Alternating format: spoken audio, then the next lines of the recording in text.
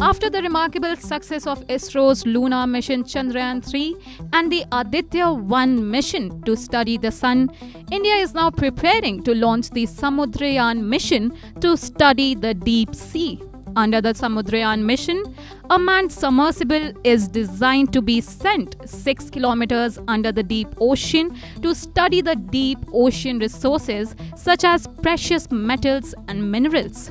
The ocean craft Samudrayaan is being developed by the National Institute of Ocean Technologies NIOT Chennai.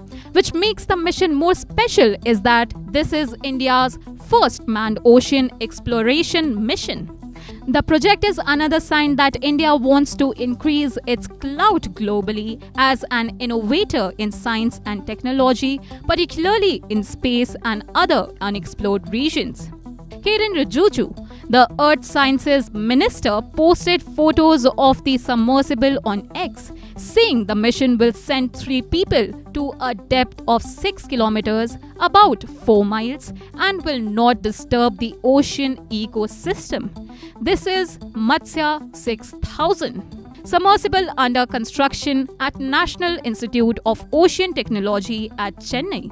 India's first manned deep ocean mission, Samudrayaan, plans to send three humans in 6 kilometer ocean depth in a submersible to study the deep sea resources and biodiversity assessments. The project will not disturb the ocean ecosystem.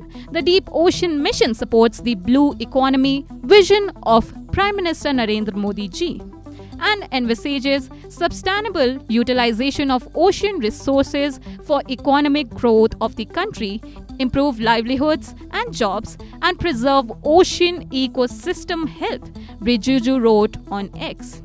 Well, what is the Samudrayaan mission? The Samudrayaan mission is the first manned submersible mission of India that aims to develop a submersible that will carry three people to a deep ocean depth of 6,000 meters with a suite of scientific sensors and tools of deep ocean exploration. The mission has been developed with an endurance of 12 hours for normal operation and 96 hours in case of an emergency. Under the Samudrayaan mission, a submersible called Matsya 6000 will undergo trials in the Bay of Bengal off the coast of Chennai in early 2024. Currently, a team of scientists are looking into the design more cautiously after the implosion of the Titan submersible, which took tourists into the Titanic wreckage in the North Atlantic Ocean in April this year.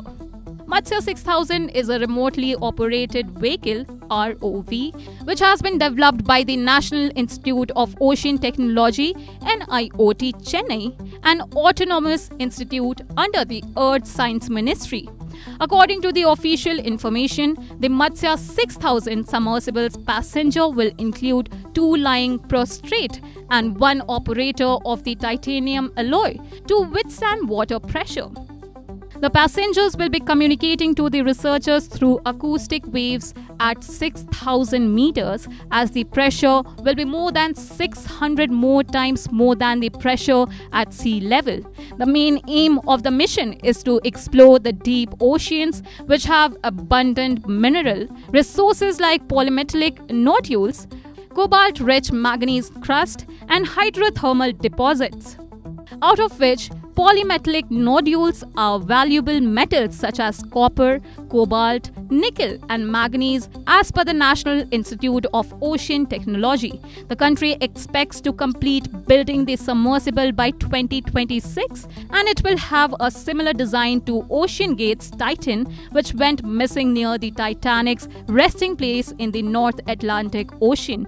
The US Coast Guard later announced that the submersible underwent a catastrophic implosion that killed all five people on board, who were on an expedition to see the Titanic's wreckage. The news forced OceanGate to suspend all exploration and business operations.